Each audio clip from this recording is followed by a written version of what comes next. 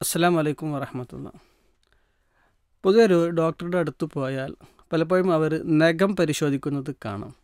പലപ്പോഴും നമ്മൾ ചിന്തിക്കും എനിക്കിപ്പോൾ എന്തിനപ്പോൾ ഡോക്ടർ നഖം നോക്കിയത് എന്നൊക്കെ. അത് നഖം പല അസുഖങ്ങളുടെയും ലക്ഷണങ്ങൾ കാണിക്കുന്നതായി കാണാം. ഇപ്പോൾ മഞ്ഞപ്പിത്തമൊക്കെ പറയുമ്പോൾ നമുക്ക് പൊതുവേ മഞ്ഞ കാണാറുള്ളതാകുന്നു. അപ്പോൾ അത്തരത്തിലുള്ള കുറേ അസുഖങ്ങളുടെ ചില ലക്ഷണങ്ങൾ നഖത്തിലൂടെ പ്രകടമായി കാണാറുണ്ട്.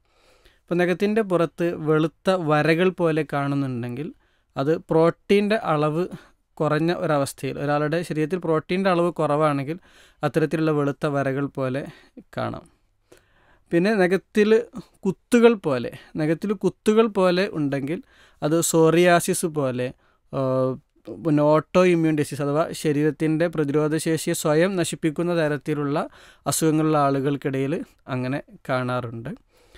പിന്നെ ക്ലബിംഗ് എന്ന് പറയും. അത് നഖം കൂർത്ത് വളഞ്ഞു നിൽക്കുക. അത് ശരീരത്തിൽ നമ്മൾ രക്തത്തിൽ ഓക്സിജന്റെ അളവ് കുറഞ്ഞു നിൽക്കുന്ന ഒരവസ്ഥയിൽ അങ്ങനെ കാണാം. അത് ഈ സ്പൂണ് പോലെ ഇങ്ങനെ ഇത് കൂർത്ത് വളഞ്ഞ് സ്പൂണ് പോലെ വളഞ്ഞു നിൽക്കുന്നതാണെങ്കിൽ രക്തക്കുറവ് കൊണ്ട് അഥവാ ഈ ശരീരത്തിലെ ഇരുമ്പിന്റെ അളവ് കുറഞ്ഞതുകൊണ്ടുണ്ടാകുന്ന രക്തക്കുറവ് അയൺ ഡെഫിഷ്യൻസി അനീമിയ എന്ന് പറയും.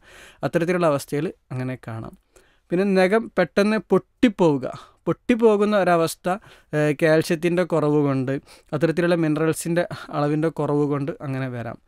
പിന്നെ നഖം മഞ്ഞ നിറത്തിലായി. മൊത്തം മഞ്ഞ നിറത്തിലായിട്ട് കാണുന്നത് ചെറിയ ഫംഗൽ ഇൻഫെക്ഷനുകളൊക്കെ ഉണ്ടെങ്കിൽ അത് നഖം അടർന്നു പോവുക തുടങ്ങിയ കാര്യങ്ങളൊക്കെ ഫംഗൽ ഇൻഫെക്ഷനുകൾ കൊണ്ട് പൂപ്പൽ പോലെയുള്ള അത്തരത്തിലുള്ള ഫംഗൽ ഇൻഫെക്ഷനുകൾ കൊണ്ട് അങ്ങനെ വരാം. പിന്നെ നഖത്തിലുണ്ടാകുന്ന നിറവ്യത്യാസം ഉണ്ടാകുമ്പോൾ അത് പല മിനറൽസിന്റെ കുറവ് കൊണ്ട് ആണെന്നുള്ളത് നമുക്ക് മനസ്സിലാക്കാൻ സാധിക്കും. സിങ്ക് പോലെയുള്ള ചില മിനറൽസിന്റെ കുറവ് കൊണ്ട് വരാം. പിന്നെ നഖത്തിന്റെ പുറത്ത് ഒരു പിങ്ക് കളറിൽ റിഡ്ജ് പോലെ ഒരു വരകൾ പോലെ ഇങ്ങനെ പിങ്ക് കളറിൽ അങ്ങനെ കാണുന്നുണ്ടെങ്കിൽ കിഡ്നി ഡിസീസ് അല്ലെങ്കിൽ തൈറോയ്ഡ് അസുഖങ്ങളുണ്ടെങ്കിലോ അല്ലെങ്കിൽ ഹാർട്ടിന്റെ പ്രശ്നങ്ങളുള്ള ആളുകളിലൊക്കെ അത്തരത്തിലുള്ളത് കാണാറുണ്ട്. പിന്നെ നഖം ചുരുങ്ങി ചെരിഞ്ഞ് വരിക. നഖം ചുരുങ്ങി ചെരിഞ്ഞു വരുന്ന ഒരവസ്ഥ തൈറോയിഡുള്ള ആളുകളിൽ കാണാറുണ്ട്.